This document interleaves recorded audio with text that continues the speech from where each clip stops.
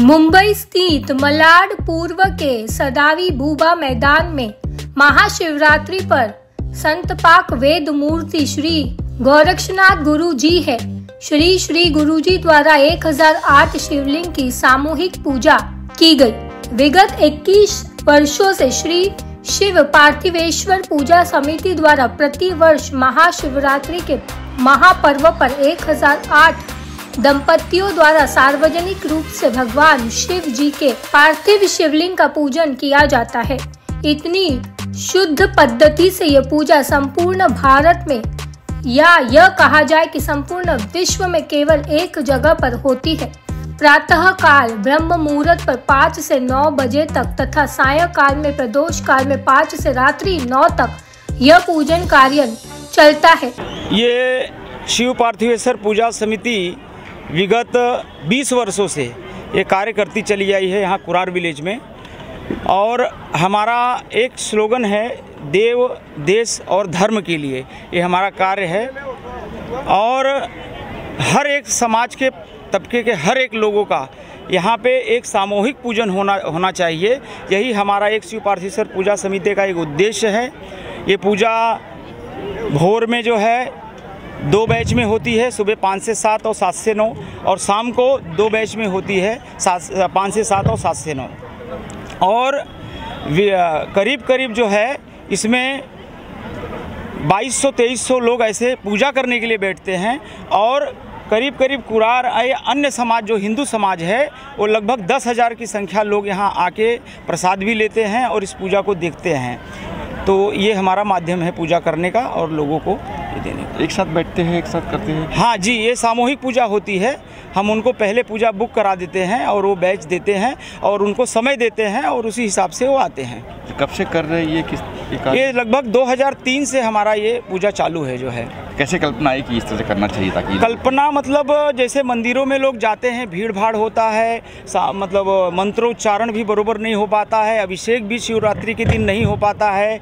तो हमने ये गुरुजी हमारे जो हैं, एक दिन ऐसे चर्चा हुई गुरुजी से तो बोले कि हम एक सामूहिक आयोजन करते हैं, तब से ये कल्पना आई और हम लोग ने ये शुरुआत किया। आज के कार्यक्रम के बारे में सबसे पहले मैं बताना चाहूँगा कि पूरे भारतवर्ष में एक में पूजा यहाँ पे मलाड में ही होती है। आप कहीं पे भी ऐसी सामूहिक पूजा, महाशिवरात्रि के दिन पूरे भारतवर्ष में कहीं पे भी नहीं होती है। और इसका पूरा का पूरा श्रेय जाता है हमारे वेद मूर्ति गोरक्षनाथ गुरु जी को। और अगर आप इनको आप सोशल मीडिया पर सर्च करोगे तो श्री श्री गुरु जी के नाम से ये बहुत ही ज़्यादा प्रचलित है।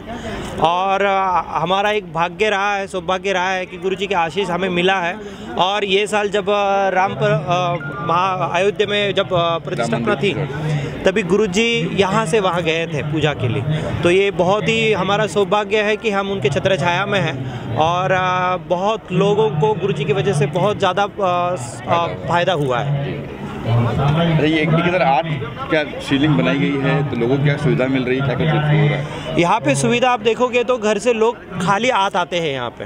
कुछ भी उनको लेके नहीं आना है, कुछ भी फूल लेके नहीं आना है। यहाँ पे जो भी उनको मिलता है, शुद्ध पद्धति से मिलता है। उनको लिए प्लेट ग्लास है, शिवपिंडी है, पूरा का पूरा समिति यहाँ पे आपको दे देती है। फूल से लेके बेल, पान से लेके सब कुछ सुविधा यहाँ पे आपको मिल जाती है।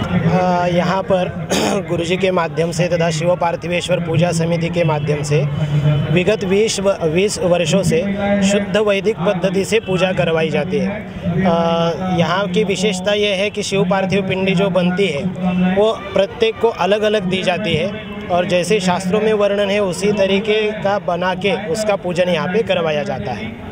ये जो मूर्ति बनती है किस धातु की है आ, मिट्टी की बनाई जाती है। हम्म। मिट्टी और पानी मिला के वो जो पार्थिव पार्थिव मतलब मिट्टी, मिट्टी। तो उसकी जो विशेषता है उसी पद्धति से उसमें कुछ भी मिलाया नहीं जाता है। केवल मिट्टी के द्वारा ही वो पिंडी बनाई जाती है उसका पूजन किया जाता है। लगता है कि इस तरह के कार्यक्रम और होना चाहिए बिल्कुल होने चाहिए ज़्यादा से ज़्यादा होना चाहिए। शिव पार्थिवेश्वर पूजा समिति और वेद मूर्ति गोरक्षनाथ गुरु जी जो संस्थापक है समिति के और आप उपाध्यक्ष है अध्यक्ष है ये सब लोग मिला के यह प्रयत्न करते रहते हैं कि ज़्यादा ज़्यादा से ज़्यादा लोगों तक हम पहुँचे, क्योंकि मुंबई जैसे शहरों में शुद्ध पद्धति से पूजा करने वाले लोग बहुत कम हैं तो हमारा प्रयास है ज़्यादा से ज़्यादा लोगों तक पहुँचे और ज़्यादा से ज़्यादा स्थानों पर इसका आयोजन किया जाए।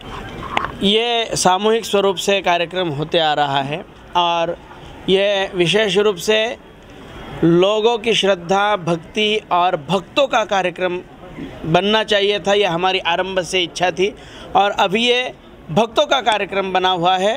ये भगवान के भक्तों का बड़े अच्छे उत्साह के साथ सुबह चार बजे से रात को बारह बजे तक सभी शिव भक्त यहाँ पे आते रहते हैं। जी जी। ये कल्पना कैसे है कि इस तरह का कार्यक्रम होना चाहिए ताकि लोग आए और एक, एक साथ पूजा करें शिवलिंग की? मेरे पिताजी की एक कहन- इच्छा थी या उनका कहना था कि भगवान शिव जी की पूजा चारों प्रहर पे होनी चाहिए। और सामूहिक स्वरूप में होनी चाहिए। शास्त्रों में उसका वर्णन ऐसा है, इस प्रकार से है कि शिव जी का पूजा सबसे महत्वपूर्ण है। प्रदोष में उससे भी ज़्यादा महत्वपूर्ण है। शिवरात्रि में उससे भी अधिक उसका, उसी का महत्व है। अधिक अधिक महत्व जो है, और ज़्यादा महत्व चारों प्रहरों का है। शिवरात्रि में चार प्रहर ये पूजा होने से। मगर इन सब का पूजन का फल यदि मिलता है तो चारों प्रहरों में सामूहिक स्वरूप से मट्टी के शिवलिंग का पूजन करने का। गुरु जी आज हज़ारों लोग सामूहिक रुद्राभिषेक किए उनके लिए क्या कहेंगे? सामूहिक रुद्राभिषेक जो है वही शिव जी का आत्मस्वरूप लिंग जो है पार्थिव लिंग पूजन वो सामूहिक स्वरूप से करने से एक साथ जो ऊर्जा आती है वो सभी प्राणी मात्राओं के लिए जगत के कल्याण के लिए बहुत प्रभावशाली बनता है। गुरु जी अगर हम देखें तो हम ये भी कह सकते हैं कि आज भारत जो हमारे देश में बारह ज्योतिर्लिंग है उनको भी से स्थापित करने का काम किया जाए अवश्य ये हम करते रहेंगे। अष्ट प्रकृति की यहाँ पे हम लोगों ने पूजा के स्वरूप में स्थापना की हुई है। हर पूजा में अष्ट प्रकृति भगवान शिव का पूजन किया जाता है। गुरु जी भक्तों को क्या आशीर्वाद देना चाहेंगे? आप अपने भक्तों को। सबका मंगल हो, सबका सुख समाधान हो और सभी को देश के प्रति, धर्म के प्रति जो जागरूकता हुई है, वो निरंतर अखंड रहे।